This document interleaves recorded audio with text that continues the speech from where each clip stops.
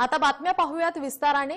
ST विलिनीकरणाच्या मागणीचा अहवाल आज सादर होण्याची शक्यता आहे. विलिनीकरणाचा अहवाल राज्य सरकार उच्च न्यायालयात सादर करण्याच्या तयारीत आहे.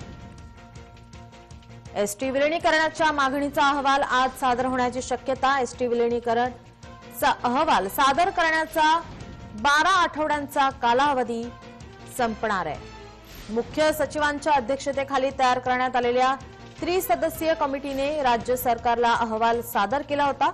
अठ्ठावीस कामगार संघटनांचा समितीने अभिप्राय मागवला होता.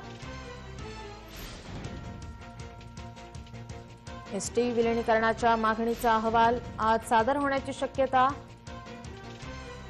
आपले प्रतिनिधी प्रशांत गोडसे आपल्यासोबत फोनलाईनवरून जोडलेले आहेत. प्रशांत काय अधिक माहिती द्याल?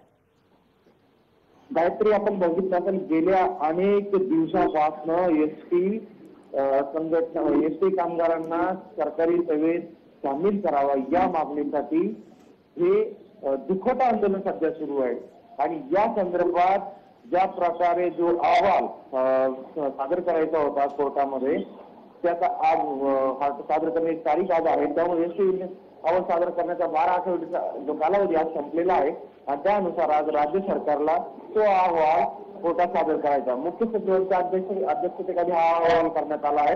ही सदस्यीय कमिटीने हा अहवाल तयार केला आहे आणि तो अहवाल आता राज्य सरकार कोर्टात सादर करणार आहे. यामध्ये अठ्ठावीस कामगार संघटनांचं मत या अहवालात घेतलं आहे त्यामुळे कुठेतरी आज याबाबत कोर्टाकडे माहिती दिली जाणार आहे. कशा प्रकारे काय अडचणी आहे? एस कामगारांना विलिनीकरण करण्यासाठी राज्य सरकारमध्ये? या देखील नमूद केल्याची माहिती मिळते आहे. त्यामुळे आजचा दिवस एसटी कामगारांच्या मागण्यांच्या संदर्भात खूप महत्त्वाचा असणार आहे. काय? प्रशांत याचे अपडेट्स आम्ही तुमच्याकडून घेतच राहू. तुर्तास धन्यवाद तुम्ही दिलेल्या माहितीसाठी.